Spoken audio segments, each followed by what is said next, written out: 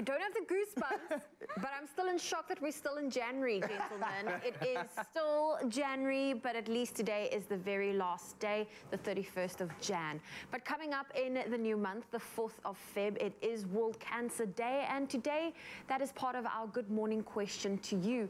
We want to know from you if you perhaps have any words of encouragement, maybe you have a personal experience that you would love to share some insight with us.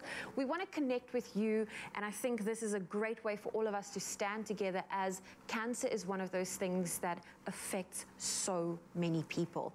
So why don't you let us know with a voice note 063 408 8863. That is our WhatsApp line.